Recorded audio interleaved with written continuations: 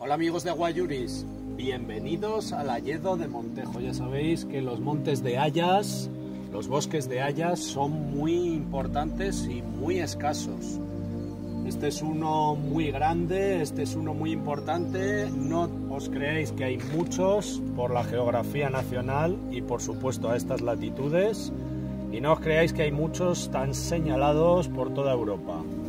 Fijaos, eh, desde 1974 es un sitio natural de interés nacional. Desde el 2005 una zona núcleo de la Reserva de la Biosfera de la Sierra del Rincón y desde 2017 patrimonio natural de la humanidad. Por supuesto, el río Jarama lo bordea por uno de sus flancos, alturas de 1300, 1400, 1500 metros y todo este maravilloso bosque. Pero, ¿qué os queremos decir también?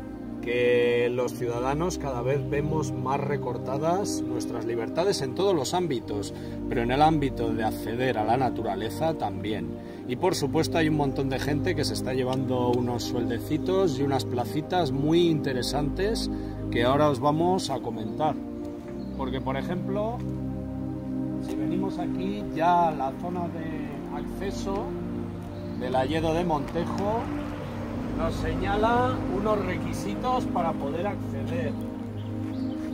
Y es que tenéis que... Y es que siempre se busca la justificación, la justificación del sueldecito. Y es que el Alledo de Montejo es un espacio natural protegido, muy sensible en un número limitado de visitas diarias.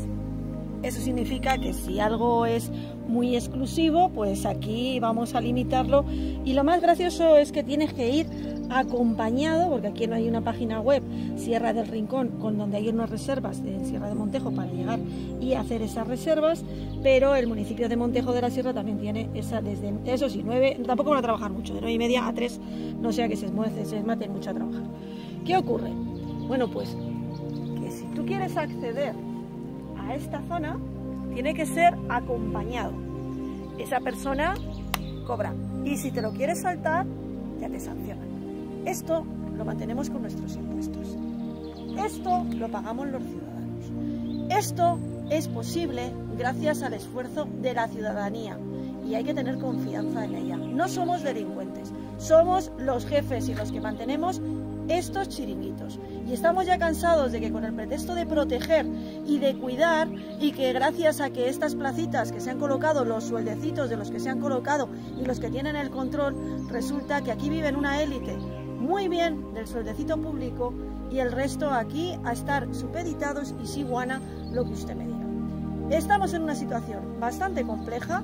España se está convirtiendo en placas y en chiringuitos donde, bueno, pues la UNESCO, yo cada vez que estoy viendo ya eh, precisamente estos cartelitos, me, sabéis que se me rizan los pelos, porque todo lo que viene de la OMS, de Naciones Unidas, de la UNESCO, al final me suena a chiringuito, a élite y a una cuadrillita que son los que controlan los bienes de interés general, que esto es de todos los españoles y los ciudadanos lo mantenemos con nuestro esfuerzo y con nuestros impuestos.